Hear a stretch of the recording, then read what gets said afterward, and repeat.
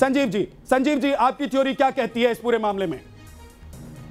आप पूरी बात कहने नहीं देते आप उधर से उधर जंप कर जाते हो। हाँ, आप नहीं हेलो मैं आऊँगा सर आपके पास फिर से तो आऊँगा। एक बार संजीव जी से बात सुन लेते पूरी हो गई जनाब हमें बोलने तो दीजिए।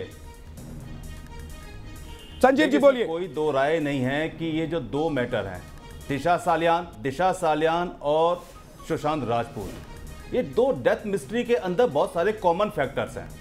अब वो कॉमन फैक्टर्स क्या हैं? पुलिस वहाँ पे क्यों गलतियाँ करती है, क्यों इलॉजिकल प्रैक्टिस करती है, क्यों दूसरा सिक्का पहलू पहलू नहीं देखती है? देखिए, सुशांत राजपूत, दिशा सालियान ने कभी किसी प्लेटफॉर्म पर ऐसा महसूस, कभी किसी को नहीं कराया कि वो सुसाइड करना चाहते हैं या वो सुसाइड के बारे में सोचते हैं।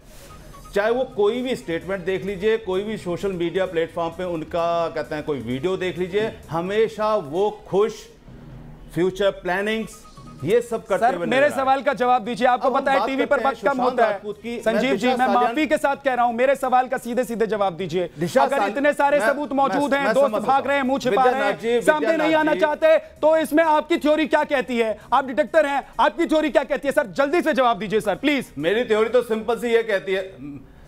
विद्यानाथ जी मेरी थ्योरी तो साफ़ ये कहती है कि पुलिस जाती है सुशांत राजपूत के यहाँ पे वहाँ पे उसको लटका हुआ देखती है और ये नहीं समझ पाती कि वहाँ पे कुर्सी नहीं है टेबल नहीं है उसके बाद उसको सुसाइड मान लेती है। मेरी थ्योरी तो ये कहती है कि दिशा सालियान एक चौदह मंजिल की बिल्डिंग से गिर जाती है बिल्डिंग अगर ऐसे है और बॉडी की पोजिशन यहाँ पे पहुँचती है दस फुट दूर पहुँचती है रैंप के ऊपर और उसको वो सुसाइड मान लेती है सिर्फ़ इतनी सी बात पे कि जो वहाँ पे लोग हैं जो स्टेटमेंट दे रहे हैं उस स्टेटमेंट के बिहार पे आप उसको सुसाइड मान